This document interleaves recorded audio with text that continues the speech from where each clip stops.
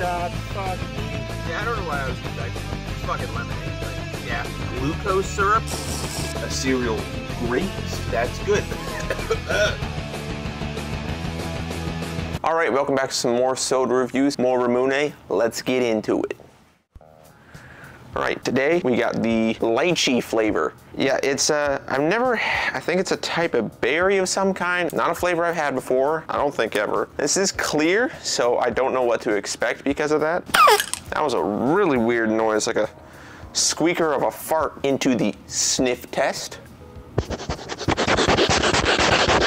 Almost nothing. Practically smells like water. Yeah, it has no nose profile whatsoever. It has no nose profile, no color. I've never had lychee before. So I have no idea what to expect. Let's get into this. Eh, that, eh. You more so feel the carbonation than you really taste anything. It doesn't taste like carbonated water where it has that weird, almost like, not briny is the right word, no. It's like a mineral taste. You don't get that. You do get some, um, some sweetness and some fruitiness on the you know, initial, but the tail end is mostly just carbonation.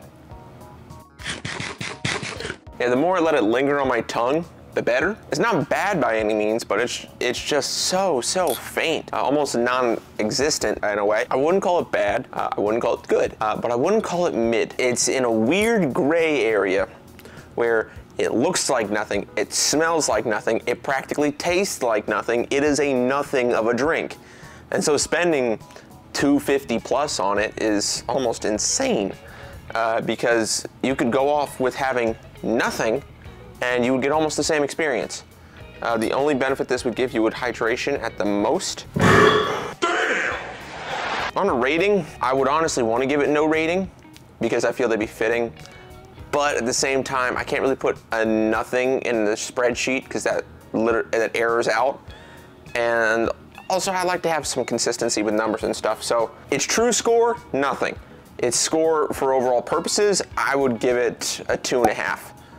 Um, it doesn't hit that average mark of what you want to have some flavor. It's just there. Like, subscribe, all that old bull crap, uh, social media down there. Uh, thank you for watching, and uh, y'all have a good one.